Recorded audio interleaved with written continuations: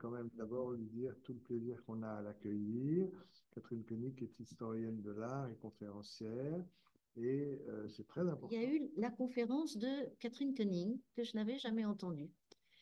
Et c'était être télétransporté dans un univers poétique, cultivé, parfois euh, intrigant, mais qui ouvrait le monde de la culture pour comprendre cette thématique qui avait été très terre à terre.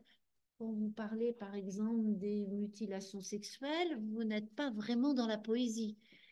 Et, c'était une belle ouverture que, à la fin de sa conférence, je suis allée rencontrer Catherine en lui disant que tout bien que je pensais, euh, on, a toujours le droit d'aller faire des compliments aux gens, hein, alors, même quand on ne les connaît pas.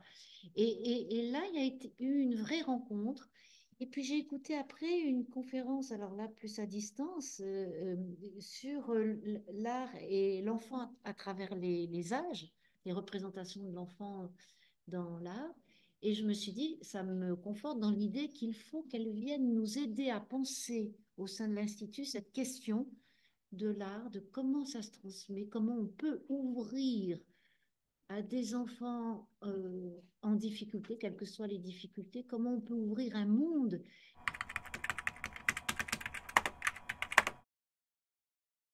C'est quelque chose de très très grave qui est en train de se passer, parce qu'il suffit qu'il y ait un problème technique ou simplement un changement d'appareil pour que tout disparaisse.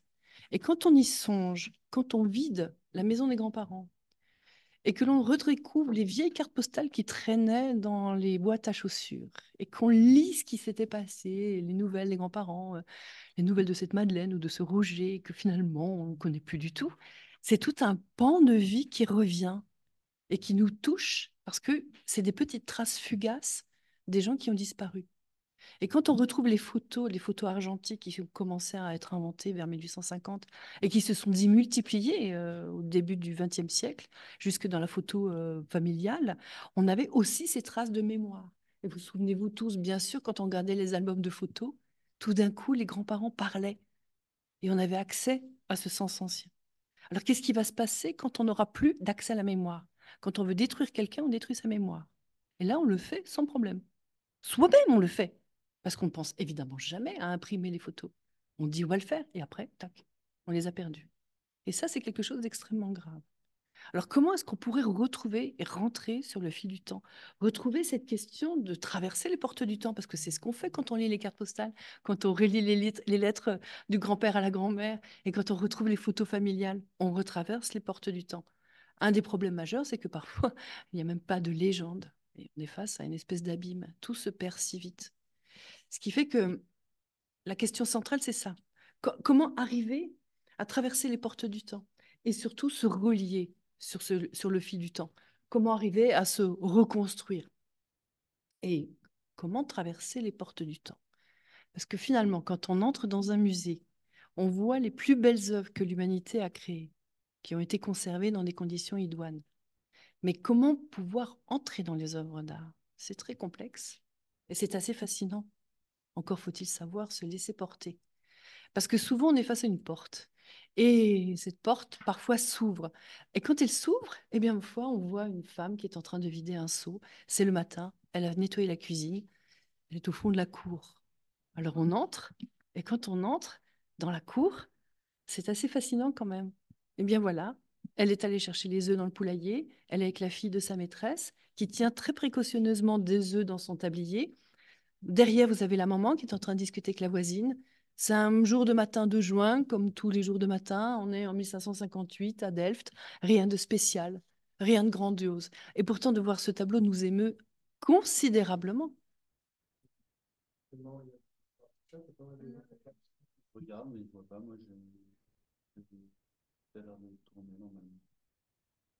Réactiver le son. Je touche à rien. Non, non, il n'y a, pas de souci. C'est plutôt euh, chez eux. Ouais, mais je vois pas. Ça fonctionne? Il semblerait qu'il y ait un problème de son. Non, ben, il y en a qui disent que ça marche, qui disent que ça marche pas. Moi, de mon côté, de mon côté, euh, je vois pas tout module bien comme il faut.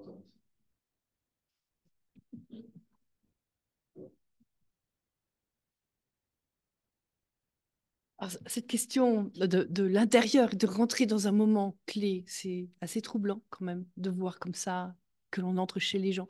Est-ce que l'on a fait des photos quand on a passé l'aspirateur, qu'on est en train de repasser chez soi? Non. Non, c'est vrai. Quand on y songe, dans la peinture hollandaise, ce sont des moments qui n'ont pas de densité particulière. Regardez ici, là cette fois-ci on est à Amsterdam. C'est une maison à côté de la maison de Gabriel Metsu qui habite près du, marché aux, herbes c'est un matin pareil à tous les autres matins, et la jeune maîtresse est en train de, faire du travail de couture, de la broderie ou simplement de ravauder les draps. Elle s'est installée parce que comme à Amsterdam, il fait très humide, elle s'est installée sur une petite estrade pour se protéger de l'humidité. Elle est à la fenêtre, et c'est à ce moment-là que la servante vient de lui apporter une lettre. Elle est en train de la lire, donc c'est juste un moment suspendu. Il, ne se passe pas grand-chose, on entend juste le bruit du papier, on entend peut-être les oiseaux par la fenêtre, c'est tout pas un bruit. Et quand on y songe, c'est très troublant de, sentir comme ça la lumière et de peindre ce petit moment. Parce que mine de rien, elle lit une lettre. Visiblement, cette lettre annonce une bonne nouvelle. Vous sentez, il y a quelque chose d'un peu printanier. C'est le début de la vie, c'est le printemps de la vie. Il y a fort à parier d'ailleurs que la lettre soit en relation avec le geste que fait la servante de soulever le rideau, de regarder euh, par le rideau un bateau peint sur un tableau. Donc visiblement, l'homme ça doit être un homme qui écrit la lettre, lui écrit à la jeune femme, habillée avec une petite coiffe et un manteau d'hermine, qu'il va revenir bientôt. Peut-être c'est son fiancé, peut-être que c'est une vie qui commence. Et puis on ne sait rien de plus. Euh, on ne sait pas quelle sera sa vie, si sa vie sera heureuse, si elle sera dramatique. On n'en sait rien de plus que cela.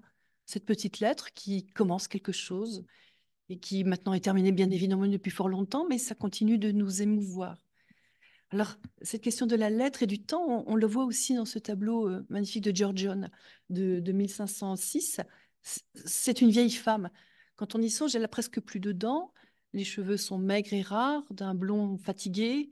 Elle a une coiffe plissée, une robe en laine, et elle tient sur la poitrine un petit billet où il est écrit Ol tiempo, le temps.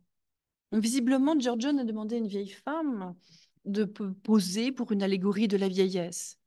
C'est assez intéressant parce que la jeune femme précédemment était au début de sa vie, celle-ci est à la fin de sa vie. Il y a quand même 150 ans qui les séparent. Celle-ci est plus âgée, bien sûr, date, le tableau date de 1506, l'autre de 1663. Il y a 150 ans d'écart, mais ces questions sont toujours très touchantes en fait. 150 ans et 1500 km. À l'époque, c'était énorme, 1500 km. Maintenant, non, parce que notre temps s'est vraiment considérablement rétréci. Alors, ça laisse cette question-là très importante de quelle image laissera-nous de nous? Qu'est-ce qu'on va laisser de soi, en fait? Et, qu'est-ce que l'on laisse de soi en général? Regardez ici, dans ces trois œuvres que vous voyez, on a une photo très ancienne, une statue très ancienne, une autre du XVIe et une autre du XVIIe siècle. C'est intéressant parce que c'est trois manières de représenter qui sont complètement différentes, en fait. D'abord, celle-ci.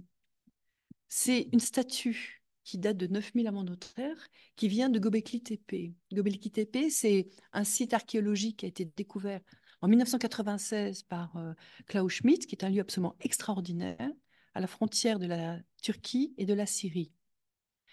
Et pas très loin d'ici, à une dizaine de kilomètres, on a découvert, un paysan a découvert cette statue, qui est la première statue anthropomorphe de taille humaine. Elle fait 1,80 m de haut. C'est tout à fait troublant. Parce qu'à Gobekli Tepe, il s'est passé quelque chose qui est le passage, qui est le marquage du passage d'une transformation profonde et définitive de la mentalité des hommes. C'est la glaciation qui commence à véritablement refluer, et ce qui fait que des grandes steppes, les grandes steppes se couvrent des grandes forêts, et que les grandes migrations ne peuvent plus avoir lieu comme avant, ce qui fait que les hommes doivent changer de manière de vivre, de chasseurs-cueilleurs, et doivent commencer à changer de Dieu et élaborer un nouveau principe qui va donner naissance à l'agriculture. Donc c'est là ils vont construire des temples circulaires.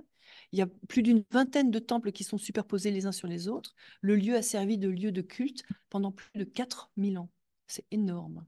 Puis après, il a été abandonné et vont se construire à partir de 7000 ans avant notre ère les grandes cités, l'organisation d'un territoire. Mais à ce moment-là, quand on voit cette statue, c'est comme un gardien. Un gardien de quoi? C'est un homme anthropomorphe. Est-ce que c'était un roi? Est-ce que c'était un dieu? Est-ce que c'est un gardien du monde des morts? Un gardien du temple? On ne sait pas. En tout cas, il y a quelque chose qui est assez troublant. Il est debout, il est vêtu d'une tunique à col il met les mains croisées devant peut-être son sexe ou peut-être un couteau, c'est très difficile à dire. Et en tout cas, il a un regard qui est fixe et qui regarde droit devant lui. Voilà, c'est tout ce qu'on peut en dire. Parce qu'on n'a pas d'accès, il n'y a pas de texte encore, il n'y a pas d'écriture. Et on n'a pas d'accès autrement que par cette sculpture qui demeure très puissante, en fait. C'est ça qui est assez fascinant. Tout différent est l'attitude de ce cieux de Morette. Mais curieusement, il a la même attitude que l'homme de Gobekli Tepe. Bon, il est très bien habillé par contre. Hein. Il porte un surcot de velours noir, il a des manches à crever, un, manceau, un manteau de vison, une chaîne en or, une dague en or attachée à une chaîne. Il est ganté avec des gants très très fins, pas la main droite. La main droite est dégantée et s'apprête à sortir la dague de son fourreau. Et vous sentez, il y a une frontalité extraordinaire. Mais Holbein est capable de peindre la présence de cet homme qui nous regarde droit dans les yeux. L'homme de Gobekli Tepe, si tant est que ce soit un homme, c'est peut-être un dieu. Et le cieux de Morette d'Holbein ont les deux regards noirs qui nous observent. Ce qui est troublant, c'est que cet homme est très élégant, très puissant, mais on sent bien, ce n'est pas un roi, c'est un serviteur de roi. C'est effectivement ça. Il a été ambassadeur pour le roi de France, François Ier, à la cour d'Angleterre. C'est comme ça qu'il a rencontré Holbein et qu'il lui a commandé son portrait. Vous sentez, c'est quand même un homme qui sent qu'il est très bien, très beau, très, très soigné. Il a taillé sa barbe, il a une barbe rousse et blanche, il a un béret de laine dans lequel il y a une broche en or. Il est extrêmement raffiné, n'est-ce pas? Ah Oui. Et vous sentez qu'il est quand même très immobile, très statique. Il y a juste le léger mouvement de la main qui introduit un tout petit mouvement, léger, léger. C'est quand même assez impressionnant de voir la capacité qu'a Holbein de faire un portrait. Tout autre est celui de Judith Leister. C'est un autoportrait et c'est incroyable. On vient d'entrer chez elle. On est à Harlem dans son atelier. Elle vient d'arrêter de peindre et elle est en train de nous parler. C'est fou comme elle est vivante. Alors que quand même, elle est un peu statique, n'est-ce pas? Elle est vivante. Elle est saisie en plein geste. Elle s'interrompt. Elle discute avec nous. Elle est en train de faire le portrait d'un violoniste habillé en bleu. Et vous sentez ce qui est assez troublant de voir que le bras de Judith, le pinceau de Judith, reprend quasiment la même attitude que le violoniste. Oh, certainement, ils se connaissent. Si ça se trouve, celui à qui elle parle, c'est le violoniste. Et c'est assez intéressant de faire un autoportrait comme ça, parce que qu'est-ce que c'est vivant? Il y a quand même une chose que vous ne pouvez pas comprendre, c'est comment elle est habillée. Elle est un peu démodée ça ne se porte plus tellement la fraise. Et il y a une autre chose qui m'intrigue, c'est que quand même, la fraise, quand on fait une peinture à l'huile avec des essences, ça se risque de se tacher. La peinture n'est pas sèche. Je trouve que c'est pas pratique. Je trouve qu'elle soigne sa mise, qu'elle s'habille très très bien. Elle, pose un peu quand même. C'est très raffiné, c'est très recherché. Mais en tout cas, au premier regard, on ne s'en aperçoit pas. On a l'impression que c'est exactement comme elle est dans l'atelier ce qui est possible. Mais c'est aussi une fille de brasseur. Elle est montée dans l'ascension sociale. Elle a pris des cours chez Franz Hals. Donc elle est devenue quelqu'un. Elle est devenue une grande portraitiste. Avouez que ce serait dommage de s'habiller en sarrau pour euh, ne pas montrer au contraire qu'elle a réussi sa vie. Voilà, ces trois nous ouvrent les portes du temps. Elle nous pose aussi une question importante, c'est autant chez le sieur de Morette, on ne savait pas très bien à quoi il pensait. Rien du tout chez l'homme de Göbekli Tepe un petit peu chez Judith Leister. Mais ça pose quand même une question importante. Est-ce que quand on peint, est-ce que l'on peint ce que l'on voit? Simplement ce que l'on voit. Oui, vous me direz, on ne voit même les veines bleues du cieux de Morette. Ah, c'est aussi simple que ça. Il suffit de peindre ce que l'on voit. Alors ça pose quand même une question importante. C'est la question de regard posé sur le monde. Parce que, voilà, quand on peint, c'est facile. Vous avez un peintre, vous avez un sujet référent, voilà, c'est le matin, vous avez cueilli une rose dans le jardin, vous l'avez mis dans un vase et vous peignez la rose. Ça fait une œuvre. C'est bien, hein. c'est une relation triangulaire. Un peintre, le sujet, l'œuvre. Comme ça, c'est simple. Sément, C'est pas aussi simple que ça. Regardez cette œuvre qui est vraiment très très belle. Vous avez euh, Spelt qui va peindre un bouquet de fleurs. Alors il est allé cueillir, vous les reconnaissez. Une tulipe perroquet, des pivoines, un coquelicot, des pervenches, des giroflées, des encolis, des petits boutons de rose, euh, une branche de lierre. Et une chose étonnante, on ne voit pas le vase, ce doit être une jatte parce que finalement les roses sont quand même posées plutôt sur une ligne horizontale et non pas dans un vase vertical. Il y a une chose qui est assez troublante, c'est qu'en fait les fleurs, elles ne fleurissent pas en même temps. On va de fin mars jusqu'à début juillet. En fait, Spelt, il n'est pas allé dans son jardin cueillir des fleurs. Il a mis combien de temps pour faire ce tableau Beaucoup de temps. Peut-être quatre mois et peut-être plusieurs années en fait il y a une chose qui est assez intrigante, c'est que il y a aussi un papillon. Ah, ah, ah, il y a aussi un papillon. Mmh, ici. Et le papillon est sur une branche de lierre. Eh bien, non. Le papillon ne va pas sur une branche de lierre, surtout quand il y a des fleurs aussi adorables, aussi odorantes. Il ira sur des fleurs. C'est donc un trompe-l'œil. C'est exactement ça, parce que regardez, le rideau qui est censé protéger le tableau de la poussière, oui, en Hollande, on aime que ce soit propre, et donc on met un rideau pour éviter que le tableau ne prenne la poussière. Mais si, mais si, on l'avait vu.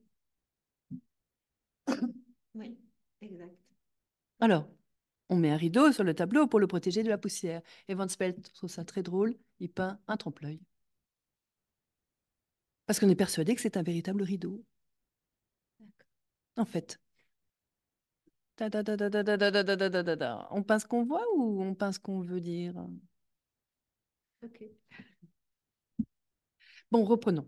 Vous avez le peintre, vous avez un sujet référent, une jeune Italienne de 26 ans, à qui son mari veut offrir un cadeau de fête des mères et qui va commander une œuvre. Jusque-là, tout va bien. C'est la question du portrait, donc. Mais quand on fait le portrait, est-ce qu'on va représenter uniquement les traits de la personne? Ou la personnalité? C'est pas la même chose. Regardez le cieux de Morette. Souvenez-vous, à quoi pensait-il? Restez bien immobile. Judith? Hmm, On sentait déjà un peu plus. C'est difficile. Regardez, à quoi pense-t-elle? Elle est jolie. Elle est très bien habillée. Elle a exactement la même attitude que la Joconde. Mais elle a un regard vide. Noir peut-être, très beau, mais très vide. Et pourtant, c'est une femme qui fait son portrait. Katharina von Emessen, on pourrait penser que quand une femme doit poser devant un homme, elle se contient, elle se réserve, elle ne doit pas être trop séduisante. Quand c'est une femme qui peint une femme, on pourrait penser qu'elles sont en confiance. Confiance, taratata. Regardez la robe, elle est tellement entravée, la taille doit faire à peu près 50 cm de diamètre. Regardez, le cou est totalement serré, vous avez trois chaînes en or qui sont très lourdes, vous avez le début d'un commencement d'une fraise. Je ne parle même pas des manches qui sont totalement serrées au niveau du bras. Et les poignets, c'est formidable. Vous avez peut-être une chemise, mais qui est totalement serrée par un anneau d'or. On peut imaginer qu'elle a un verre du gadin, donc une robe qui fait entre 5 et 15 kilos. Donc forcément, monter les escaliers 4 à 4, c'est totalement impossible. Elle n'est donc que figée dans la robe. Elle n'est que un, comment un élément vertical tenu par la robe, avec aucune possibilité de faire le moindre mouvement. À quoi pense-t-elle? Quelle est la vie intérieure de la personne? C'est pas la question. On sait tout de sa robe. On sait tout de ses cheveux, de sa coiffe. On ne rien de la personne. Parce que quand on va peindre ce que l'on voit, on va aussi peindre la vision intérieure. Alors la vision intérieure, qu'est-ce que c'est? On reprend le peintre. On reprend le sujet référent. Le sujet référent, pas forcément l'objet en toi, ça peut être un objet, bien sûr, mais aussi un sujet, une intuition, une obsession, une inspiration, une émotion, une transcendance, une commande, une idée, un concept, une nécessité intérieure, etc. etc. Alors, ça donne quoi? Bah, Parfois, ça donne des cauchemars. Fuseli, quand il parle au cauchemar, une femme totalement révulsée sur le lit, avec une créature horrible sur la poitrine, quand même, je veux bien qu'on dorme, mais il y a des limites. Alors, quels sont ces monstres? Vous avez un cheval aveugle et ailé, une espèce de griffon démoniaque, D'où viennent-ils? Est-ce que l'on a accès, nous, spectateurs, au cauchemar de la femme? Donc on entre dans son rêve et on voit surgir l'innommé Ou au contraire, la femme est tellement en train de dormir profondément qu'elle ne s'aperçoit pas des bestioles qui sont dans l'armoire Vous savez, sous le lit, les loups des enfants de 5 ans. On ne sait pas si le peintre rend visible l'invisible, inaccessible à la femme, ou si le peintre rend visible le cauchemar. Difficile à dire. Mais en tout cas, ça pose une question importante. Comment peut-on représenter l'invisible? Est-ce même possible? Ah, prenez toujours le peintre. Un sujet référent qui sera une abstraction. Dieu, la liberté, la renommée, la joie de vivre, ce sont des abstractions. Comment faire une œuvre? Ah, c'est un véritable problème, ça. Ça a été un problème mm, pour les hommes depuis le début. Notamment, par exemple, dans la terre d'Arnhem, dans le nord de l'Australie. C'est très intéressant parce que depuis 12 000 ans avant notre ère, donc 14 000 ans maintenant, les hommes, quand ils sont arrivés à la terre d'Arnhem, ont vécu le monde de la mythologie qui s'appelle le temps du rêve. Et quand ils vont représenter les divinités, les divinités ont ceci de particulier dans la terre d'Arnhem, c'est qu'on voit leur intériorité. Pas leur physicalité, pas leur enveloppe, mais leur intériorité. Sauf que les êtres du temps du rêve, étant des dieux, des émanations divines, ne peuvent pas avoir une, une intériorité comme nous, avec des intestins, avec un estomac, avec une colonne vertébrale et avec un système sanguin. Alors, ils ont une, intériorité, mais constituée par une colonne vertébrale et un système d'anneaux superposés qui montre qu'on voit leur intériorité, pas leur physicalité, mais qui est différente de l'intériorité du corps humain. En revanche, quand il y a des humains qui sont représentés, ils sont représentés, eux, en tant qu'êtres opaques. On ne les voit pas sur la scène, mais ça, c'est quelque chose de très étrange. Parce que cette pensée de représenter les divinités avec une conception réelle apparaît en Europe au XVe, XVIe siècle, et notamment en Flandre. Dans ce tableau de Robert Campin, c'est assez intéressant. Vous avez trois volets. Le volet de gauche, le volet du milieu, oh, le volet, le volet de gauche, le panneau du milieu et le volet de droite. Dans le panneau du milieu, vous avez une femme assise au pied de la banquette avec une grande robe rouge, en train de lire. Vous avez à côté d'elle un homme vêtu d'une robe blanche qui porte des ailes dans le dos, et donc nous allons lire cet homme comme étant un ange, c'est-à-dire un envoyé de Dieu. Mais rien dans la manière de peindre de Robert Campin ne permet de l'isoler, à part les ailes bicolores. Regardez, il a la même densité, la même opacité, le même corps, le même poids, il n'est pas en train de voler. Il a des plis, il est habillé avec une robe de laine.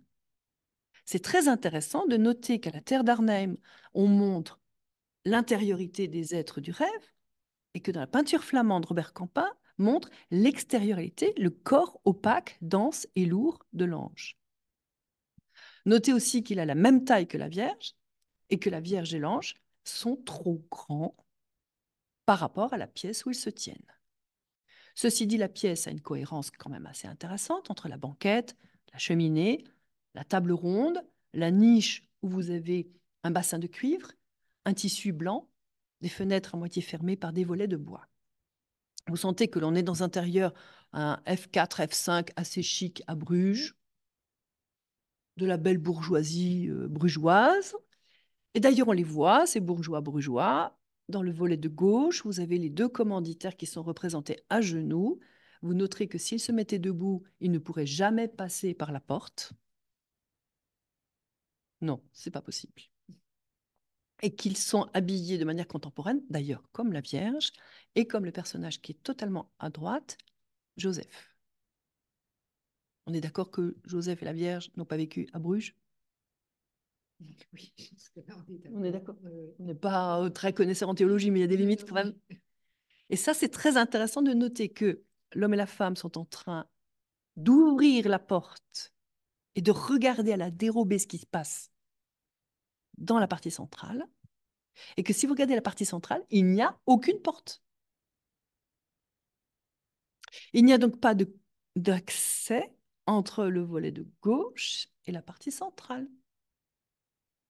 Non plus qu'il n'y a d'accès entre la partie centrale et le volet de droite. Chose aussi troublante, Joseph est en train de travailler à son établi, mais si vous regardez le plafond, le plafond de Joseph et le plafond de là où se tient la Vierge, il n'y a pas de cohérence spatiale. Pourtant, les œuvres sont liées. On, on ne le met pas en doute. Ce qui est assez troublant, parce que qu'est-ce qui se passe dans cette scène? Vous avez un ange qui est en train d'annoncer quelque chose et la Vierge ne s'en préoccupe pas le moins du monde. C'est quand même un monde, ça. Vous avez quelqu'un qui rentre chez vous sans porte. Et non.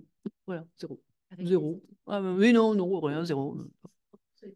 Oui, non, quand même, il y a des limites. Alors, il lui annonce quelque chose. Ou il va lui annoncer quelque chose. Si vous faites attention, maintenant, attention. Vous avez quoi sur la table? Un livre ouvert, recouvert d'une couverture verte. Une chandelle qui vient de s'éteindre. Un, un. Une chandelle ne peut pas être allumée en plein jour. Elle vient de s'éteindre, vous avez la, la, fumée qui se dégage de la chandelle. Ah Ce n'est pas une chandelle, c'est une bougie blanche. Vous avez un vase dans lequel vous avez un lisse blanc, puis un tissu blanc, je vous l'ai déjà dit, puis une bassine de cuivre, je vous l'ai déjà dit. Ah, et là, Tintin, deux oculus. Entre les deux oculus, un petit être sous la forme d'un tout petit enfant qui tient une croix, et voilà, c'est la conception de l'enfant. L'enfant est en train de suivre, vous ne le voyez pas, mais des petites lignes dorées. L'enfant va passer par la fenêtre sans la briser, comme dans la parabole de Sainte Brigitte, qui dit que la Vierge aille rester vierge en portant l'enfant, comme la lumière traverse le verre sans le briser. Puis va passer devant la bassine de cuivre, qui n'a aucune tache, qui va bien prouver que la Vierge est Immaculée Conception, puisque le cuivre, dès que l'on le touche, a une tache. Là, il n'a pas de tache. Ensuite, il va passer devant le tissu blanc qui n'a pas de tache, immaculé. Les femmes qui font la, lessive à la rivière savent ce que ça veut dire qu'un linge immaculé. Ensuite, il va passer devant le lys de la Madone. La bougie qui vient de s'éteindre, c'est le moment où l'Esprit Saint est allé et va descendre sur l'oreille droite de la Vierge, puisque ça va être une conception inouïe. Inouïe dans l'oreille. C'est la racine même du mot inouï. Chose troublante dans cette œuvre, c'est Joseph. Joseph, c'est un menuisier charpentier, mais il y a des limites. Non, mais c'est pas ça. Il est en train de faire des espèces de trous à la bas comme je te pousse, sans que ce soit le moindre monde sérieux. Regardez comment il tient le vilebrequin, tout va tomber par terre. Et qu'est-ce qu'il fait? En fait, si vous faites attention, il est en train de faire des trous dans une planchette, et la planchette, on la voit, c'est le pare-feu. Le pare-feu qui est dans le volet central. Mais le pare-feu qui est dans le volet central, qui sera le véritable pare-feu? C'est-à-dire le feu de l'enfer. Qui sera le protecteur du feu de l'enfer? Joseph? Ou Jésus? Jésus. Ce qui fait que Joseph fait sans le faire un pare-feu qui sera inutile. Le vrai pare-feu de l'enfer, c'est Jésus. Voilà pourquoi il fait sans faire de manière euh, assez maladroite. Vous sentez comme tout, et ça c'est extraordinaire dans la peinture flamande, tous les objets ont l'air d'être des objets, et ils sont plus que des objets, ce sont des objets symboliques. Ce qui fait qu'ils nous donnent à voir autre chose que simplement ce qu'ils montrent, et nous donnent à voir la présence de l'invisible. La présence de l'invisible, c'est un concept intéressant, qui est un cauchemar pour les peintres. Parce que les peintres savent peindre le visible, mais donner la présence de l'invisible par des objets peints, c'est un paradoxe. Maintenant, ça pose une autre question. L'effet miroir de l'œuvre d'art. Est-ce que l'œuvre d'art est le reflet du monde? Parce que quand même, on sait comment on était dans un appartement à cinq pièces assez chic de la bourgeoisie de Bruges. Est-ce que c'est un reflet du monde? Un simple reflet? Regardons celle-ci. Ce sera beaucoup plus simple que l'œuvre de Robert Campin, heureusement. Une jeune femme à demi nue, sur une banquette rouge, elle aussi, en train de se regarder dans le miroir. Bien. Derrière elle, une fenêtre qui s'ouvre sur un paysage avec un coucher de soleil. Bien. Ou alors, derrière elle, un tableau où est représenté un paysage au coucher du soleil. Maintenant, question. Est-ce un tableau ou est-ce une fenêtre? Faisons un sondage. Vous me répondrez, voyons, une fenêtre. Le format, euh, il y a quelque chose qui est posé sur le bord de la fenêtre, un vase avec des fruits. D'accord. Et où sont les vantaux Non, on est à Venise. Oui. Euh, Où sont les vantaux si c'était une fenêtre? Non, on n'en voit pas la trace. Alors, un tableau. Un tableau, c'est bien aussi un tableau. Mais dans ce cas-là, pourquoi y a-t-il un objet posé sur le bord? Vous sentez, c'est très ambigu. Ah misère, si c'est très ambigu, il va falloir se méfier un petit peu. Regardons cette femme, elle regarde dans le miroir. Elle se regarde dans le miroir? Non. Elle regarde ailleurs, à l'extérieur. Et nous, on n'a pas accès à ce qu'elle voit. Maintenant, regardons un peu cette femme, le bras gauche. Le bras gauche.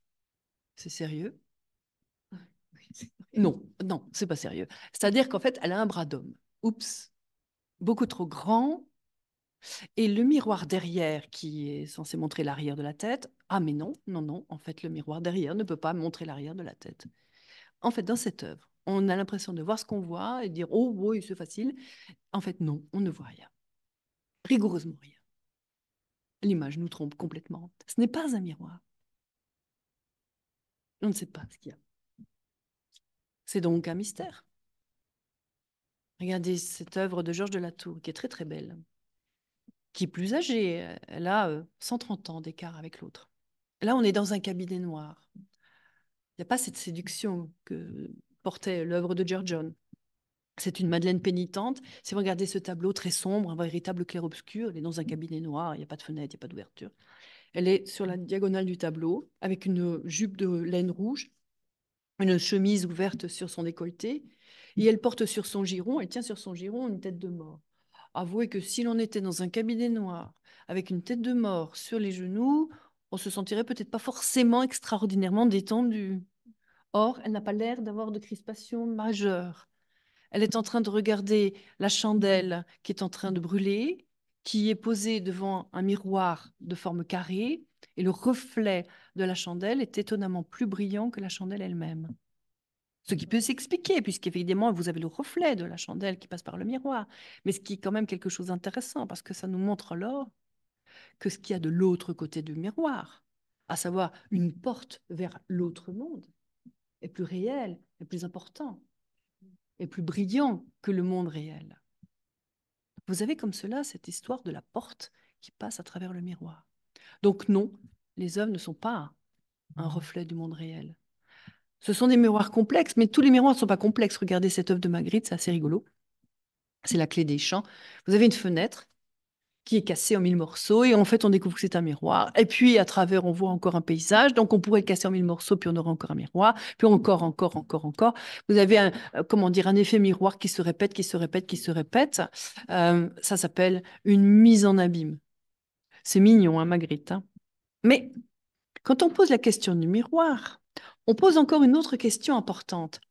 C'est le triangle de la représentation. Que c'est ça que le triangle de la représentation? En fait, le stade du miroir, c'est un moment clé dans le développement de l'enfant. Quand il est bébé, il est dans les bras de ses parents, il reconnaît papa-maman, puis vers deux ans à peu près, entre 18 mois et, et 24 mois, il découvre que lui-même est un sujet, qu'il est séparé du corps de sa mère et qui va avoir donc ce, rapport à, lui-même, à, ce, à cette construction, à cette compréhension de son propre corps. Donc ça, c'est un moment extrêmement important. Ce qui fait que on le voit dans, les tableaux, ce rapport à l'image de l'autre, ce très très beau tableau de- d'Elisabeth Vigée-Lebrun, qui a fait le portrait de sa fille Julie qui a 7 ans. C'est un portrait très doux et très tendre parce que Elisabeth a fait beaucoup de portraits d'elle et sa fille qu'elle adorait. Et elle fait des autoportraits dans lesquels elle tient sa petite fille. Et on a un rapport narcissique à l'enfant, bien sûr, rapport narcissique de la mère qui adore son enfant. Et là, elle fait sa petite, à la fois de profil et de face. Et la petite regarde sa maman. Donc on a une mise en abîme très, très intéressante et très audacieuse et très belle, très poétique aussi dans cette œuvre-là. Mais parfois, justement, est soulignée euh, la question de l'autoportrait. Parce que quand l'artiste se regarde à travers le miroir, vous avez cette relation triangulaire. Le peintre, le miroir, il se regarde le miroir et il se peint. Cette question-là est importante pour le peintre parce que c'est à ce moment-là qu'il va pouvoir montrer au client qu'il est un très très bon portraitiste. Bah oui, le client rentrant dans l'atelier va pouvoir juger sur pièce et donc effectivement passer commande au peintre. Ce qui fait que l'autoportrait est souvent un élément fondamental. Mais quand vous regardez la manière dont Friseke se représente, c'est assez troublant. Regardez, on a le miroir, très bien qui est pas. On a les montants du chevalet, le bord du tableau que l'on ne voit pas. Le peintre lui-même, puis encore trois petits tableaux sur la droite. Le peintre, on ne le voit pas. On ne voit pas son regard, on ne voit pas son visage, on ne voit que la lumière qui passe sur le dos, qui caresse son épaule et son bras droit, et à peine les branches des lunettes. C'est assez troublant de noter que les fleurs, les pots et les chandeliers sont plus présents que N'est-ce pas qu'il se dissout complètement dans son œuvre et que finalement, on ne le perçoit pas Regardez la manière dont Bougros se, peint. Bougros se peint en se mettant légèrement au-dessus que le regard du spectateur. C'est-à-dire qu'il surplombe le regard du spectateur. Friseke non est assis et puis finalement on ne le voit pas. C'est très intéressant de regarder la manière dont on se met en scène, parce que c'est une mise en scène. Même s'il dit qu'il est modeste, oui, enfin, c'est mis en scène quand même. Regardez celui-ci qui est très intéressant, Johannes Gumb. C'est comme si on rentrait dans l'atelier, comme chez Judith Leister. On le surprenait en train de faire son autoportrait. Vous avez le miroir à gauche et le portrait à droite.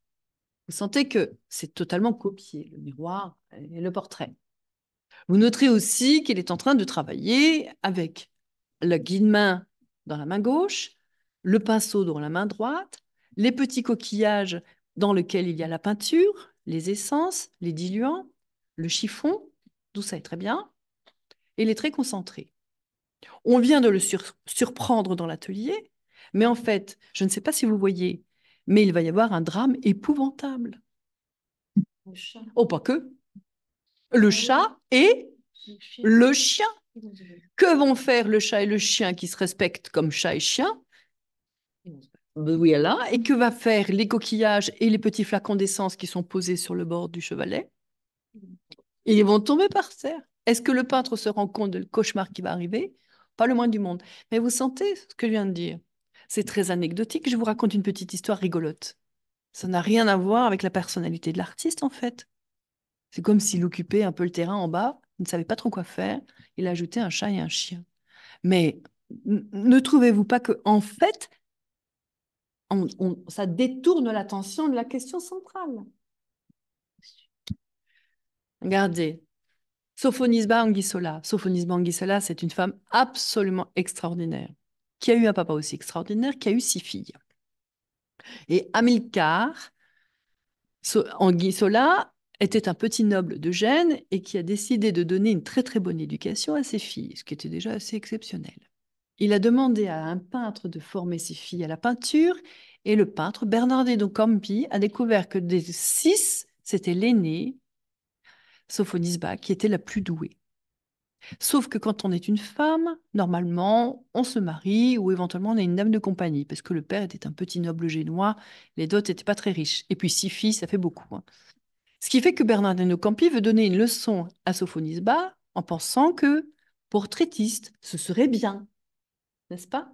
Alors voilà, il fait le portrait de son élève et Sophonisba, c'est une chipie, hein, elle fait le portrait de son maître en train de la peindre.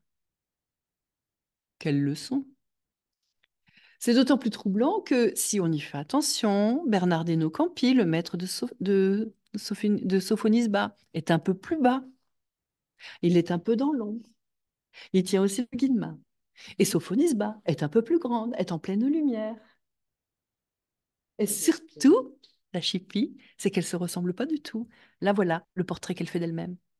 Elle a les yeux clairs, elle a un visage beaucoup moins joli. Ce son maître en fait quelque chose de beaucoup plus lissé, de beaucoup plus convenable à une dame de compagnie. Imaginez qu'elle va être dame de compagnie, mais de la reine d'Espagne, qui va avoir tellement d'amitié pour elle qu'il va la faire nommer peintre de cour. C'est la première femme qui a une carrière internationale exceptionnelle. Elle va vivre près de 100 ans. Et elle, sera absolument remarquable. Mais vous sentez, c'est une espèce de, comment de mise en abîme. Mais la plus extraordinaire des peintures, c'est celle-ci de Johannes Vermeer, qui s'appelle L'atelier ou l'allégorie de la peinture. Ah, cette œuvre est absolument célèbre, évidemment, c'est une des plus célèbres de Vermeer. C'est assez étrange d'ailleurs, parce que il y a quand même une question qu'on ne s'est pas posée pour Gump. Comment il a fait pour se peindre de dos? Le miroir est trop petit. Bon, vous me direz, le dos n'est pas très représentatif non plus, il a pu peindre un dos. D'accord. Ici, c'est différent. La personne est tellement bien peinte qu'on voit très bien qu'elle est assise sur un tabouret, qu'elle est sur un carrelage complexe et qu'elle est en train de peindre un tableau. Par rapport aux deux autres scènes, on voit très bien l'atelier du peintre, qui est assez grand, dans lequel vous avez une carte magnifique sur le mur du fond, un très très beau lustre en laiton, une table épaisse, un chevalet, un tabouret, une chaise en cuir de cordoue rouge et un grand tapis rideau. Jusque-là, tout va bien. Les personnages. Une jeune fille qui est habillée avec un tissu bleu, qui tient un livre jaune, une trompette et qui est couronnée de feuilles de laurier. On sent qu'elle est quand même très déguisée. Le peintre, lui, vous pouvez pas vous rendre compte, mais enfin, ces vêtements, on, est quand même en 1666, c'est du dernier ridicule. C'est-à-dire que ça date du temps de son grand-père, voire de son arrière-grand-père, et que sérieusement, oups, pardon, autant à la cour de François Ier, le, béret de laine était à la mode, oh non, maintenant c'est plus possible, on ne porte plus de béret de laine depuis plus de 80 ans. On porte des hauts chapeaux de feutre, et les manches à crever, c'est fini. Je ne parle même pas des bas rouges et encore moins des guêtres qui tombent sur les cheveux. Donc c'est ridicule. Autre chose qui est un peu troublant dans cet atelier de peintre, où sont les peintures, les pinceaux, les essences, la table de broyage, les assistants, les dessins préparatoires, les esquisses, les autres tableaux, les toiles, les châssis. Dites donc, c'est un atelier de peintre où il n'y a rien sur la table une tête en plâtre, un livre ouvert, une étoile de soie, au mur, une carte magnifique, qui est très chère, mais où sont les esquisses? Autre chose qui est assez troublant, c'est qu'il est en train de peindre la jeune fille, et là, c'est vraiment pas sérieux. La jeune fille, il la peint en commençant par la fin, les feuilles de laurier. Et si vous allez à Vienne et que vous approchez du tableau, vous voyez les esquisses blanches sur le tableau. Mais c'est pas comme ça qu'on peint. Ce n'est pas comme ça qu'on peint sur un tableau de, toile de lin, on doit mettre plusieurs couches de colle de peau de lapin avec des ocres jaunes ou des ocres rouges, 7 à 8 couches. Puis là-dessus, on va faire un dessin très très précis à partir des esquisses que l'on a fait et qui sont juste à côté. Puis un dessin que l'on va passer avec des terres d'ombre et des ocres jaunes pour faire le contraste du noir et du, de la lumière. Et ensuite, on va mettre des glacis de couleur pour faire monter les lumières. Et à la fin, on ajoute les petits détails et les grains de lumière. Ce que l'on voit là, c'est un peintre qui ne sait pas peindre. On ne commence pas par la fin. C'est comme si vous faites le portrait de quelqu'un et vous commencez par les boucles d'oreilles. C'est pas sérieux. Ça ne marche pas. Alors, est-ce que c'est Vermeer? Non, jamais Vermeer peint comme ça. Bon, alors si c'est pas Vermeer, qui est-ce? Mystère et boule de gomme. Ou alors, est-ce Vermeer? Mais le Vermeer d'avant, le Vermeer jeune, un peu présomptueux, peu naïf aussi, qui croit qu'il suffit de peindre la renommée, ah je vous l'ai pas dit, la jeune fille qui porte une trompette et des couronnes de laurier, c'est l'allégorie de la renommée. L'allégorie, c'est une idée abstraite. Sérieusement, elle n'est pas très abstraite. On dirait que c'est sa fille qui est déguisée en renommée. Alors, est-ce que c'est Vermeer qui peint lui-même quand il était jeune, très naïf, qui pense qu'il suffit de peindre la renommée pour qu'elle vienne à lui et qu'il devienne célèbre par tout le pays? Mais qui ne sait pas que faisant cela, à peine il a commencé, il est déjà démodé. En fait, Vermeer est dans le tableau. Il y est. Mais où?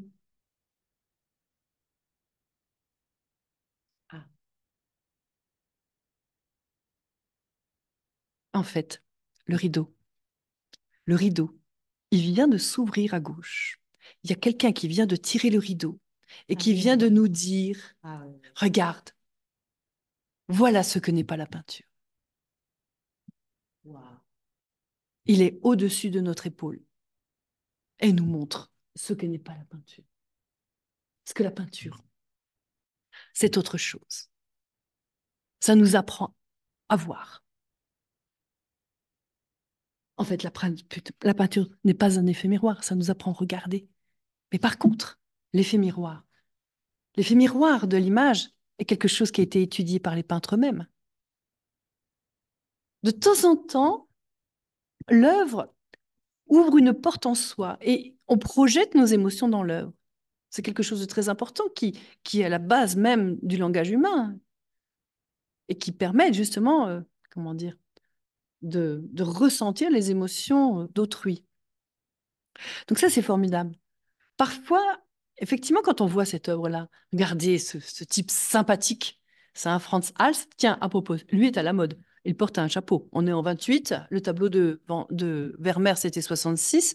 Ça fait déjà plus de 30 ans qu'on porte un chapeau de castor et non plus un béret. C'est vous dire si Vermeer était vraiment démodé. C'est du temps de son grand-père, voire de son arrière-grand-père qui portait les vêtements. Oui, non, c'est pas sérieux. C'est comme si nous, on portait un costume en terre égale pour aller voir un banquier. S'imaginez un peu, c'est pas possible. Et regardez cet homme, il est extrêmement sympathique, il nous sert un coup à boire, ah, il n'est pas très très propre, il n'est pas très sobre non plus, mais enfin franchement, vous sentez, on passerait une bonne soirée avec lui. On aurait mal à la tête demain matin, mais vraiment, n'est-ce pas qu'on se projette dans ce côté sympathique? C'est le maître de Judith Leister, il tenait une taverne et donc il peignait ses clients. Bon, après, euh, évidemment, Franz ça finit alcoolique, mais on peut pas tout avoir non plus. Mais quel peintre oui, évidemment, quand on voit avec les clients, euh, forcément, ça se sent. Regardez dans ce tableau-ci. Oups, ah, ça change. D'abord, il fait horriblement froid. Ensuite, est-ce qu'on a monté sur la montagne pour aller voir le lever du soleil? En plus, il n'y a même pas de bonnet, même pas de gants. Et puis ce type-là, c'est pas un homme, c'est un chamois. Il est monté tout seul. Il est au-dessus de la mer de nuages. Vous sentez? C'est quand même quelque chose d'absolument étonnant. La ville est en bas, au milieu des brumes. Lui, il est en haut, très au-dessus, face au ciel vide, un paysage immense, totalement sublime et désolé. Vous sentez l'ambiance complètement différente entre ce joyeux buveur très sympathique et ce côté romantique et mélancolique. C'est Caspar David Friedrich, l'homme au-dessus de la mer de nuages, mais vous sentez ce rapport au sublime et à la destinée, c'est l'homme face à lui-même, face à Dieu, face au vide. C'est complètement différent de cette ambiance-là. Là, je sais pas vous, mais franchement, les visites de courtoisie, ça va cinq minutes. Tout ça parce qu'on l'a croisée au théâtre et qu'elle nous a dit de venir boire un thé mercredi, son jour de réception, et qu'on a eu la bêtise d'accepter. Voilà. Ah. Vous, entendez le tic-tac de la pendule ou... Bon, c'est joli chez elle, il n'y a pas à dire, hein, avec euh, le papier peint rose, le sofa rose, la nappe rose, les objets japonais sur la cheminée. C'est sûr, elle les a achetés chez Bing, vous savez, euh, la nouvelle galerie qui vient ouvrir rue de Provence, euh, l'Art Nouveau. Les objets japonais, c'est la folie en ce moment à Paris. Mais sinon, par ça, elle n'a même pas remarqué qu'elle avait un nouveau chapeau, la jeune fille. Bon, elle boit son thé, puis elle part chez Bing, parce que ça se trouve, elle a acheté encore un petit éventail, c'est trop craquant. non, c'est vrai, non, franchement, le thé est bon, mais c'est tout, quoi. Plus s'habille en marron, plus personne s'habille en marron. Donc ça, c'est quand on se projette dans l'œuvre. C'est assez fascinant, mais parfois, c'est pas aussi simple. Parfois, euh, l'œuvre est une énigme. Il y a un autre effet miroir, celui-là. C'est pas très très bien ce qu'a voulu exprimer l'artiste. C'est ça devient flou, on comprend pas exactement de quoi on parle. Euh, c'est une énigme. Oui, c'est vrai, regardez. Hein voilà. Ça s'appelle composition avec rouge, noir, jaune et bleu. Eh ben, on est content. Parce qu'effectivement, il y a des lignes noires euh, sur fond blanc avec euh, des rectangles rouge, jaune, bleu et noir. Et ça veut dire quoi? Mhm. C'est ça, voilà, ça veut dire quoi? Alors, on, on, entend de temps en temps, oh, un enfant de 5 ans ferait pareil. Non, un enfant de 5 ans, il dessine maman, papa, son frère, sa soeur, son chien, son chat, la maison, son doudou, le camion. Mais jamais des lignes noires sur fond blanc. Bon, alors, ça veut dire quelque chose, mais quoi? Là, c'est bien aussi. Oups. Oedipus rex. Alors, Oedipus rex, ça doit être en lien avec Oedipe. Oedipe roi, Sophocle. Bon, euh, Oedipe, il a tué son père et épousé sa mère. Mhm. Grec. Ok, après... Euh, bon, franchement, je comprends rien. Parce qu'il y a une main une main tient une noix. Qu'y a-t-il à l'intérieur de cette noix Qu'est-ce qu'on y voit quand elle est fermée D'accord? Bon. Il y a une arbalète qui, qui tient la main. Elle n'a pas l'air d'en souffrir. Ça a l'air d'être cicatrisé. Ah, vous avez remarqué, il manque un doigt. Ah oui, il manque un doigt. D'abord, elle est trop grande. Pourquoi elle passe à, travers la maison? Enfin, c'est pas une maison d'ailleurs. C'est pas très. Bon, on laisse tomber la main. Il y a deux oiseaux. Il y a deux oiseaux, dont un une attelle et un oiseau qui a des yeux d'humain. Et l'autre, il a des cornes. Ils sont dans une boîte, mais on ne sait pas quelle boîte et, pourquoi ils sont attachés. Et, un, ah, celui qui a des cornes, il y a une ficelle qui, qui est tenue. Il y a quelqu'un qui tient une ficelle. Donc il y a quelqu'un qui tient une ficelle. Il y a, quelque chose en haut.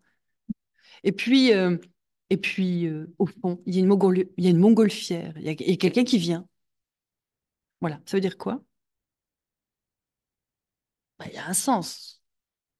Mais, mais vous sentez, ça nous échappe complètement. On est là face à notre incertitude, incompréhension. à propos de roi, tiens, le roi triste. Alors le roi, eh ben on le voit pas. Il n'y a pas de roi. Euh, maintenant qu'on y réfléchit, si, si, quand même, on voit un personnage, celui qui joue de la guitare, habillé en noir. Euh, ah oui, il y en a un autre qui est accroupi, qui joue du tambourin. Mhm. Euh, mhm, toujours pas droit, non, toujours pas droit. Ah, maintenant, oui, peut-être une danseuse à droite.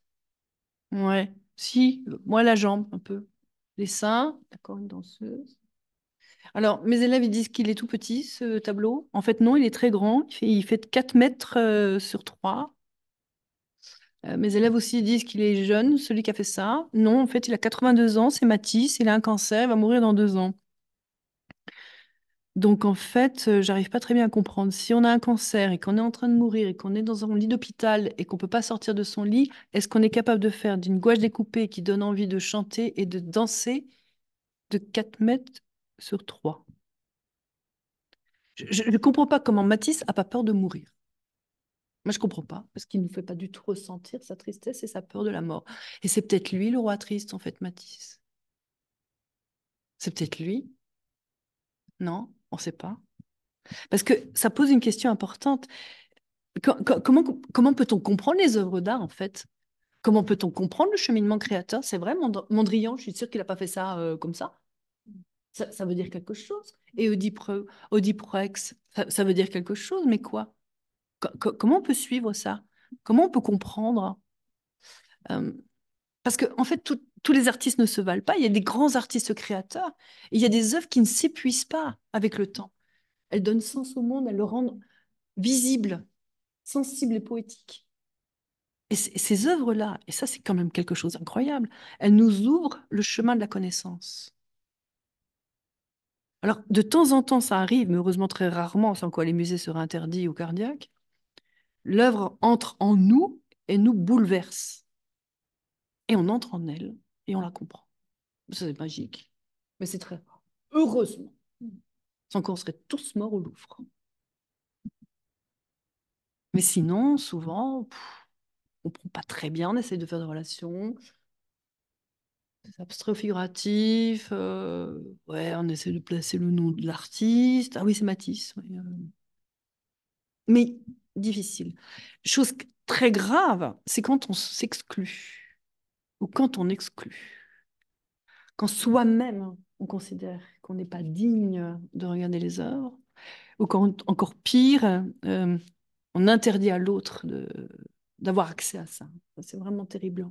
Et c'est un effet de, censure qui est absolument horrible, en fait, quand on y songe. Parce que quand on remet l'artiste dans son cheminement créateur et qu'on comprend le contexte et qu'on voit comment il travaille, quand, tout ça s'élabore, tout d'un coup, ça prend sens. Vous voyez, quand on s'est promené euh, à la cour de François Ier ou chez Judith, ah, on a ouvert la porte. Tout d'un coup, ça prenait sens. Et ce qui fait que petit à petit, on met en place l'arborescence. Et, on commence à le relier. Alors du coup, on se cultive. Alors, se cultiver, c'est quelque chose de magnifique. Mais qu'est-ce que c'est que la culture?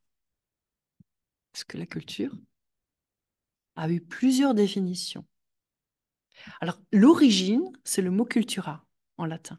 Et cultura, ça a donné deux mots en français cultivé, qui, a donné naissance au champ labouré, à l'agriculture, à l'agriculteur, au campus où on se cultive. Le campus, c'est le champ. Et du champ, on va faire le pain, c'est la campagne, campus pagnus. Et la campagne, avec le pain, on va manger avec ses compagnons. Ensuite, on va semer des graines de culture, on va développer l'arborescence du savoir, euh, c'est très intéressant de voir comme, le champ sémantique de la culture, du jardin, c'est ce que disait Voltaire, il faut cultiver votre jardin, au sens il faut développer votre propre culture, est extrêmement porteur. On a les idées qui germent, n'est-ce pas? Mais c'est aussi une autre racine qui va donner le sens de vénérer, action de révérer, de prendre soin d'un Dieu. Ce que l'on voit dans cette idée de la culture verticale qui descend et qui ruisselle sur euh, le petit peuple. Il y a ces deux notions-là qui sont très intéressantes. Mais ce qui fait que il va y avoir un changement. Au XVIe siècle, culture va prendre un sens moral. au sens moral, on est inculte quand on habite dans la campagne ou cultivé quand on habite dans la ville. Alors ça va prendre du temps, mais au XVIIIe siècle, on va se considérer comme un honnête homme quand on est cultivé. Ça va prendre du temps. Au 16e, on continue, quand on est noble, de se moucher dans la nappe. Mais au 18e, on le fait plus, de se moucher dans la nappe. Au contraire, des manières civilisées. Alors cette notion-là va développer au 19e siècle en Allemagne avec le terme de Kultur, qui va être le sens de caractère collectif d'un groupe humain envisagé dans ses spécificités intellectuelles. Vous voyez, le groupe humain de, de la cour autour de Frédéric de Saxe est très différent dans ses habitus, dans son oïkoumène, du groupe humain des fidèles de la religion orthodoxe autour de Saint-Pétersbourg. C'est deux manières de vivre. Et là, c'est le sens Kultur en Allemagne, donc élaboration d'un ensemble cohérent. C'est le moment où en Allemagne, on est en train de se constituer avant la conception de l'Empire d'Allemagne et où on prend conscience de soi-même après les invasions de Napoléon Ier. Il va falloir bien, comme le dit Fichte, définir la nation allemande en 1809. Mais sous l'influence des anthropologues américains et amérindiens, suite au génocide considérable de la population amérindienne au XVIe, XVIIe, XIXe siècle, à l'esclavage africain en Amérique et euh, à la mise en place, euh, après la guerre euh, de sécession des, Indiens dans les dans les réserves, il va y avoir une autre définition qui va être cette fois-ci ethnologique et anthropologique d'un ensemble de formes acquises et de comportements qui, euh, dans, les, dans sociétés humaines. Donc vous sentez qu'au fur et à mesure du tout petit, de l'inculte et du cultivé, on, est dans des dimensions euh, universelles. Mais on va aboutir aussi à euh, cette question terrible du choc des cultures, une expression controversée, visant à montrer que les conflits entre les civilisations seraient inévitables. Mais ce qui est important, bien évidemment, c'est qu'on est une combinaison de tout ça. En fait, on est tous à la fois partie entre notre culture individuelle et la culture collective. Tout cela est difficile à séparer et à isoler. Alors, en fait, la culture individuelle s'élabore et se construit tout au long de sa vie, avec des allers-retours permanents. Et la culture collective, elle, petit à petit, elle est fixation de, de mémoire. Elle ne bouge que très lentement. Et c'est ces deux alternances qui font que ça nous nourrit. Et ce qui fait que on va basculer de la culture individuelle à la culture collective et ce bascule, c'est cheminer sur les chemins de la connaissance. Ce qui fait qu'on se projette d'abord, puis on comprend les structures mentales et culturelles. Ça pose la question maintenant, la dernière, de ah, d'où venons-nous et qui sommes-nous? Et où allons-nous? Grande question, si on le savait. Mm. Parce que quand on chemine sur les chemins de la connaissance, on découvre une chose absolument fantastique. Les questions sont éternelles, toujours, à travers toutes les générations. Et ce sont les réponses qui diffèrent. Et ça, c'est prodigieux. À la question de la description du monde, entre le disque de Nebra, qui a été découvert en 1999 un peu par hasard, et qui est l'observation de, de la levée des Pléiades. C'est la première fixation d'une observation astronomique qui a été gravée dans ce disque de bronze. Les, les, astro euh, préhistoriens ont découvert ces 3600 avant notre ère. C'est absolument fascinant. Quand on y songe, c'est fascinant. Et donc, en fait, ça permettait de repérer le lever des Pléiades et euh, le, solstice, je crois, de ces, de ces levées du ciel. Puis chez les Grecs, puis chez les Romains, chez Ptolémée, on va élaborer un système euh, où la Terre est au centre de l'univers, un univers fixe, entouré d'eau, d'air et de feu. Donc on a les quatre éléments, la terre, l'eau, l'air et le feu. Puis autour, il y a des orbes qui sont évidemment circulaires, puisque le cercle, c'est le symbole de la perfection, avec les différentes planètes que sont la Lune, Mercure, Vénus, le Soleil étant une planète, à ce moment-là, Mars, Jupiter et Saturne, que l'on va retrouver dans les sept jours de la semaine, hein, mercredi, vendredi, euh, dimanche, mardi, jeudi et samedi. Mais c'est aussi à ce moment-là que l'on va élaborer une relation de cause à effet entre les constellations et le moment où la personne est née, ce qu'on appelle le zodiaque, et que l'on continue de lire dans l'horoscope de Télé 7 jours, qui nous permet de savoir ce que l'on va avoir dans la semaine. Très, très utile, et c'est très bien. Alors, ce que l'on a aussi, c'est qu'au moment où on sait que la Terre est ronde, quand même, il y a quand même cette conception qui reste de la Terre plate comme une assiette, au centre de laquelle vous avez Jérusalem. Au-dessus, vous avez la sphère céleste avec Dieu. Dieu est là, en haut. Il regarde les humains, il voit tout. Et en dessous de l'assiette, vous avez les espaces infernaux. Et on continue de dire que le soleil se lève et le soleil se couche, que les défunts montent au ciel et que les démons sortent de sous la terre le 1er novembre. Ça, c'est intéressant quand même, hein, quand on y songe. Hein. On a toujours cette pensée, même si on sait que la terre est ronde. On le sait, on l'a vu. On pense encore toujours à cette idée-là. Et au XVIIe siècle, c'est assez fascinant, c'est au moment où il y a toutes ces découvertes des routes en transocéanique, où le monde commence à se rétrécir de manière irrémédiable. Bah oui, bah, au début, quand on met 15 jours pour traverser l'Atlantique, puis quand on met d'abord 3 mois, puis 2 mois, puis 15 jours, l'Atlantique se rétrécit. Mais là, on va devoir avoir la carte des ciels pour pouvoir se repérer la nuit avec les étoiles et les cartes terrestres, parce que maintenant, cette fois-ci, la carte est un enjeu politique. On le voit dans ces deux tableaux de Vermeer, de l'astrologue et du géographe, qui sont le même homme, qui montre le globe céleste et le globe terrestre sur l'armoire. Une autre question qui est fascinante, c'est peindre l'autre. Comment peindre l'autre? Alors quand on regarde le tableau des demoiselles d'Alger, c'est absolument magnifique parce que Delacroix était censé partir en Algérois pour accompagner l'ambassade de France suite à la guerre lamentable contre l'Algérois en 1830. Il était censé faire le tableau de l'ambassadeur et du sultan du Maroc. Ça a complètement raté. Il l'a fait euh, plus de 16 ans après et encore il l'a il bâclé pour se débarrasser de ce truc. Parce qu'en fait, il est tombé en amitié avec Youssef, son interprète, et ils sont allés euh, à cheval et à dromadaire à la rencontre des habitants.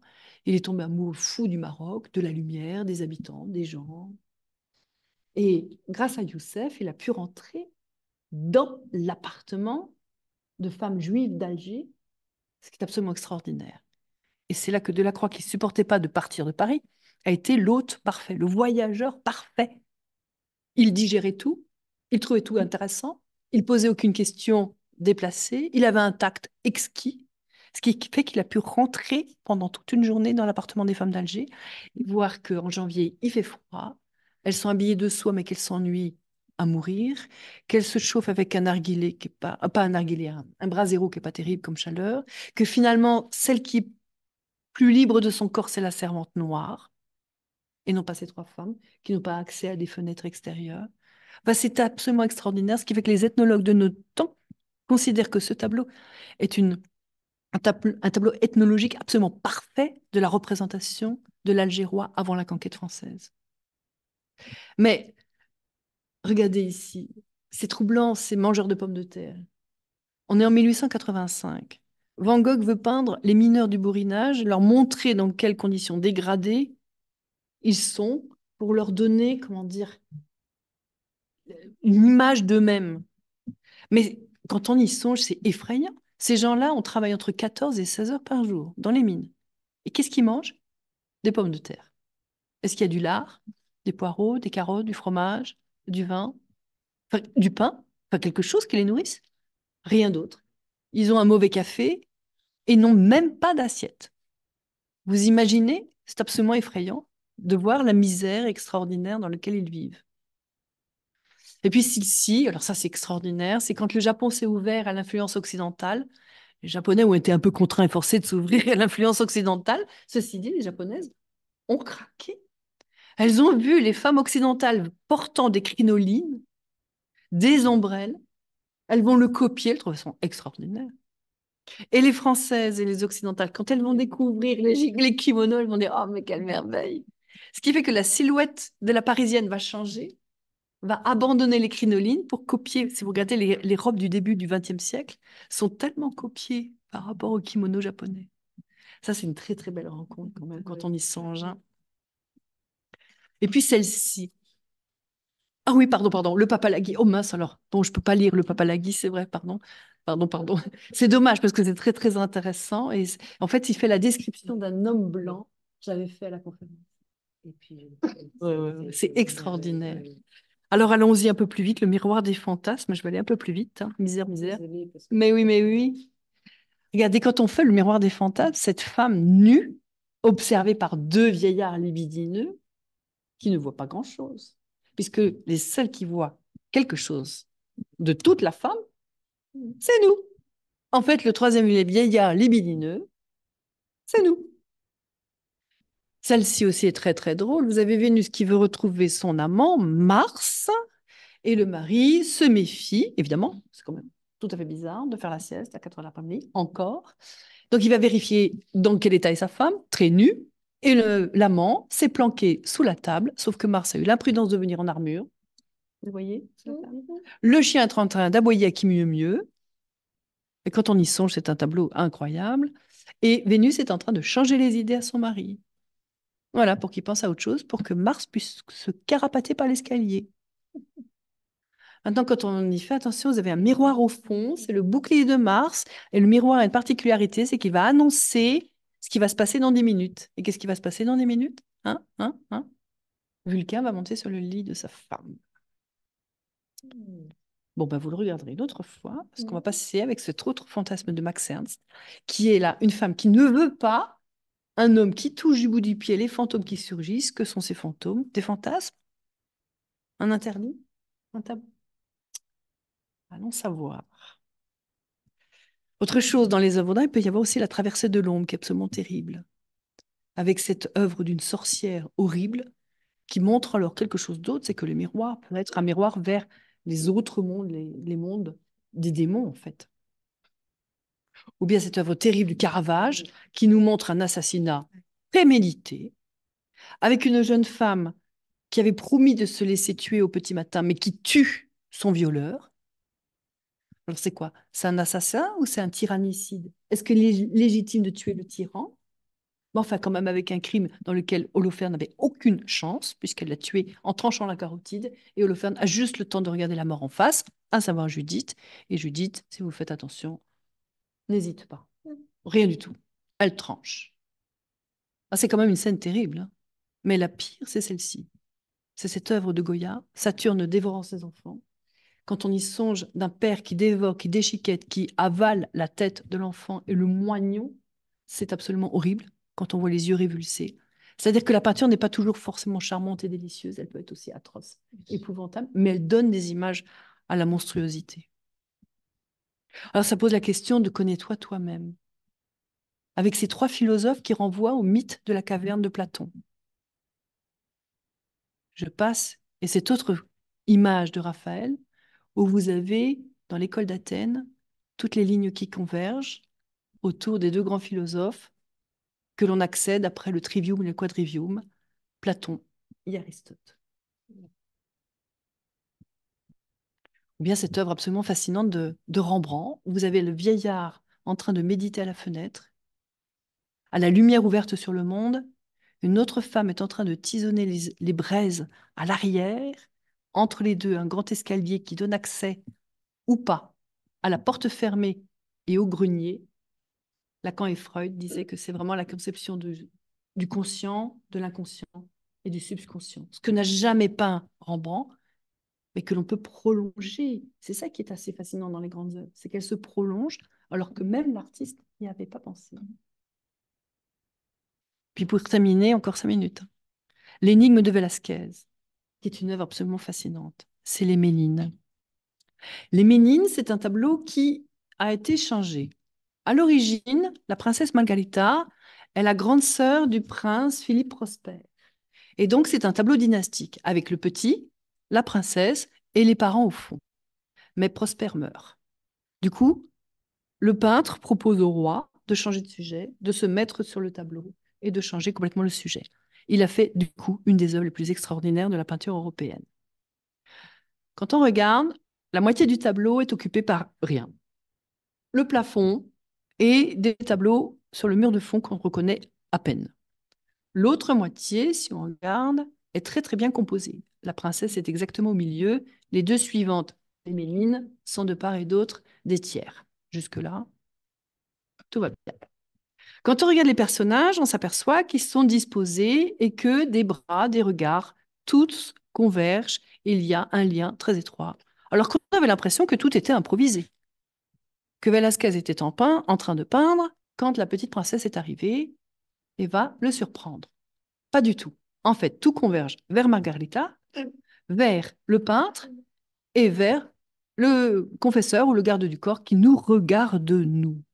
Nous regarde nous. Ce qui fait que ça va définir un arc de cercle.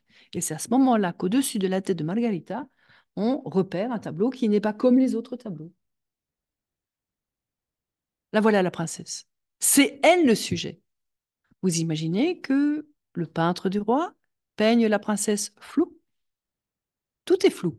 Le visage, la robe, les cheveux. C'est quand même incroyable, non? Il est payé pour ça. Il pourrait soigner les détails, non? Autre chose, dans le miroir du fond, on s'aperçoit que c'est un miroir. Pourquoi? Parce qu'il y a un petit reflet blanc.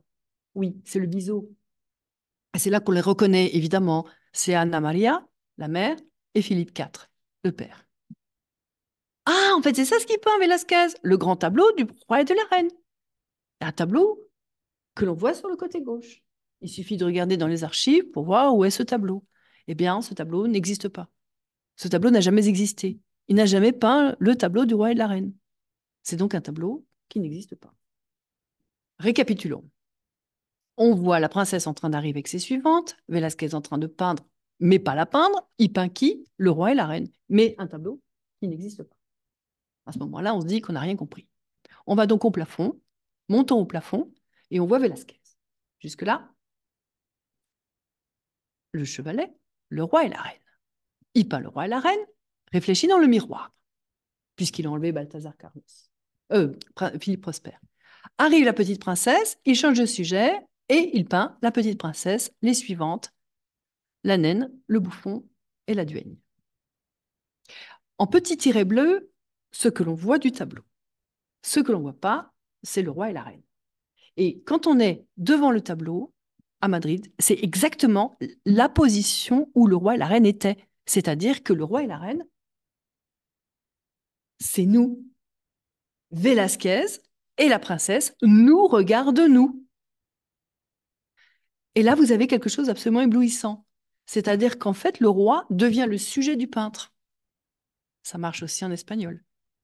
Alors que normalement, c'est le peintre qui est le sujet du roi au niveau juridique. Et là, c'est nous qui sommes le sujet du peintre. C'est-à-dire que normalement, le tableau se laisse regarder. Et là, c'est le tableau qui nous regarde. C'est troublant parce qu'on se retrouve dedans, dans le miroir. Chose étrange. Vous avez la double relation triangulaire. Le peintre qui regarde le roi et la reine et qui peint le roi et la reine. C'est la première que je vous avais dit tout à l'heure. Mais la double, nous sommes les sujets du tableau et on se projette dans l'œuvre. Ce qui fait qu'on n'arrête pas de faire des allers-retours dedans, dehors, dedans, dedans. Et c'est là où Velasquez est génial. Ce qui est encore un personnage dont je n'ai pas parlé. La clé. La clé du tableau, c'est pas Margarita. C'est lui. Un type qui sort ou entre, allez savoir. Comme nous d'ailleurs. On entre, on sort, on entre, on sort. Il ferme la porte ou tient le rideau, on ne sait pas. Cet homme, on sait qui c'est. C'est Nieto Velasquez. C'est le chambellan de la reine. Peut-être quelqu'un qui est en famille avec Velasquez, parce qu'il porte le même nom que Velasquez. C'est quand même un monde qu'il est demandé au chambellan qui porte le même nom que lui, d'être celui qui entre et qui sort. Parce qu'en fait, c'est ça l'œuvre d'art. Elle nous fait entrer en elle et en même temps, on apprend à mieux se connaître. Parce qu'en fait, c'est ça, l'œuvre d'art. Les artistes ont ceci de particulier, c'est que c'est comme des carottes à travers l'épaisseur du temps. Ils sont nés dans tous les milieux, ils ont traversé tous les milieux, mais on connaît leur vie on connaît leur œuvre. Quand on les isole et qu'on étudie, on arrive à comprendre ce que c'est que d'être humain. Et ce qui fait que l'on n'est que de passage sur le fil du temps. Mais on est prolongé par tout ce qui est venu avant et on va être continué par tout ce qui va venir après. C'est juste un moment du temps passé. Et ce qui fait que quand on se met dans cette arborescence, eh bien, on se structure, on se construit et on a accès au chemin de la connaissance, mais c'est des chemins intérieurs. Ce qui fait que tout cela est absolument prodigieux, parce que ça nous apporte tout cela, en fait. Hein. Ça nous aide à nous relier aux autres, savoir à se placer sur le fil du temps, et surtout, surtout, apprendre la relativité des certitudes. Voilà. Et c'est tout pour aujourd'hui, avec une petite bibliographie. Un peu long. Je suis tiraillé entre la fois euh, les effectivement, c'est une très belle conférence, et le jour du noir d'avoir laissé aucun temps à discussion. Ah, misère, je suis désolée, oui. Ah, elle est 58, aïe, aïe, aïe. Deux minutes. Euh. Il y a des remerciements. Euh, non, j'ai trouvé ça passionnant. J'ai trouvé que, ça faisait effectivement voyager dans le temps, réellement, et que votre question de départ était euh, intéressante sur qu'est-ce que nous on va laisser. Mais il y a quand même des peintres maintenant. Mmh. Nous ne laissons pas, nous n'imprimons pas nos images, mais les peintres sont là. Oui. Et c'est ça qui est absolument extraordinaire. C'est qu'on avait annoncé dans l'art contemporain la mort de la peinture. Papa, papa, papa. C'est très intéressant de voir ça. C'est que les peintres repeignent avec une, un talent incroyable. Il y a des jeunes artistes qui sont absolument prodigieux, mais prodigieux. Ça fait associer aussi sur tout le travail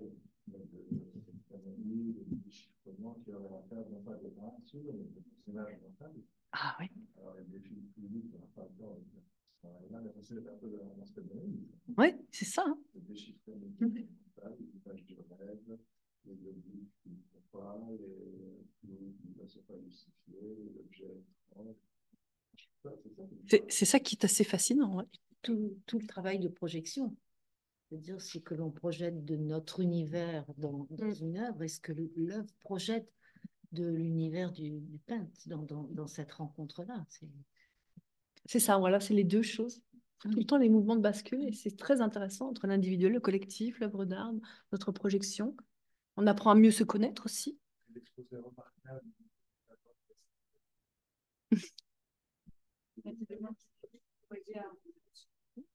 Euh, alors, oui, où est-ce que j'ai... euh, La bibliographie, j'ai disparu? Non. D'accord. Vous l'avez eu Oui, c'est euh, il y, a- il y a quelque chose de la mise en récit qui est passionnante dans ta façon d'a- d'aborder l'art. C'est-à-dire que euh, ta langue conteuse, oui, c'est une histoire. C'est à la fois l'histoire de l'humanité, mais c'est aussi notre histoire face aux œuvres d'art et, et parfois au désarroi que l'on ressent. J'ai Mhm. beaucoup aimé le, le- le côté euh, pa- parfois énigmatique où on a l'impression de rester à l'extérieur, de pas saisir quelque chose de l'univers du peintre, de lui en vouloir, en se disant mais je suis exclue, est-ce que c'est parce que je suis pas attentive, est-ce que c'est parce que je ne suis pas cultivée, Mhm. est-ce que c'est parce que le, le peintre y a mis des énigmes trop verrouillées parce qu'il ne veut pas se laisser euh, euh, aborder? Euh, Moi, je trouve que tu, tu nous ouvres à ce moment-là les, les malices des, des peintres et, et, la, et la façon dont on peut dépasser ces énigmes pour peu qu'on s'en donne les moyens et qu'on regarde mieux. C'est ça, C'est apprendre à regarder. c'est ça, c'est apprendre à regarder.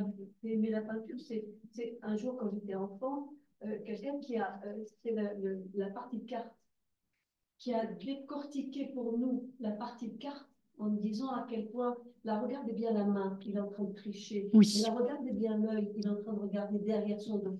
C'est parce que quelqu'un a décodé, et je pense que ce que vous décodez là, euh, si on avait à chaque fois un décodeur, décodeur de, de- quand on va dans des, dans des expositions, on passe à côté, peut-être par, par non-culture, euh, pas picturale, ou par, parce que ça nous parle moins que d'autres choses, mais s'il y a, si quelqu'un n'est pas là pour décoder, souvent on passe à côté de, de- d'un tableau qui, euh, qui a une histoire C'est pour ça extraordinaire. que tout est fondé sur le tiers. Oui, absolument, absolument.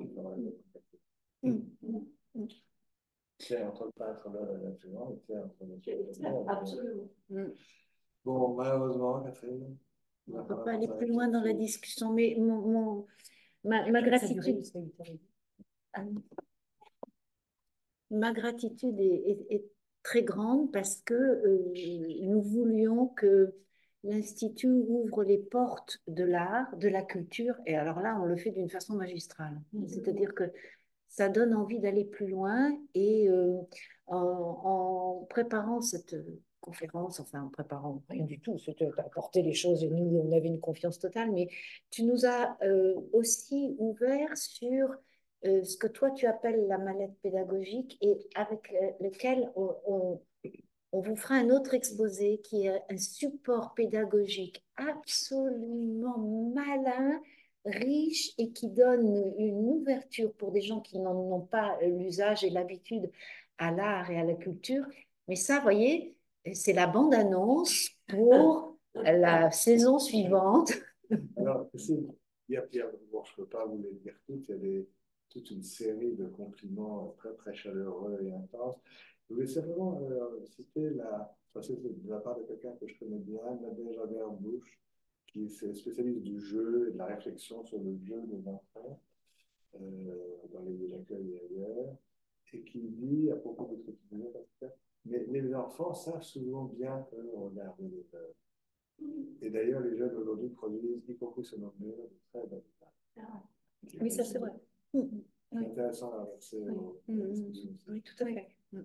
Oui, parce qu'il y a euh, toute cette définition de la culture et puis il y a une culture académique qui peut rétrécir le regard. Mhm. hein, qui peut verrouiller un peu un certain nombre de choses et qui fait que on va voir ce que l'on est formaté à aller voir. Il faut se méfier de ça aussi. Oui, on, l'intérêt des psychanalystes. Mais on est bien d'accord, madame. Ah bah, oui, oui, on ne voit que ce que l'on connaît. Ça, c'est les ordinaires. Et puis après, oui, il faut ouvrir, justement, c'est ça. oui, oui. Mais une conférence comme la tienne nous, nous permet justement, de, en tout cas ce soir, de le faire. Donc, euh, merci, très, très, très chaleureux. C'est passionnant à chaque fois de t'écouter. en tout cas, merci hein, de m'avoir accompagné sur ce chemin. Oui, c'est dommage voilà, qu'on ne puisse pas continuer, mais on, on, est gardien des, des, horaires et du temps. Merci à, à tous ceux qui sont peut-être encore en ligne et que euh, je remercie de, euh, de leur présence. Vous voyez, c'est comme dans les tableaux.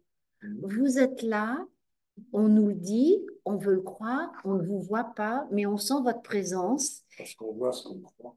Et oui, oui, oui, mais aussi parce qu'il y a quelque chose de la confiance qui circule. Donc, merci d'avoir été là. On se retrouve bientôt. Merci de suivre l'actualité de, de l'Institut. Il y aura d'autres moments comme ça. Et franchement, les, les derniers merci vont à Catherine. C'était passionnant. Merci beaucoup. Merci à vous. Bonne soirée.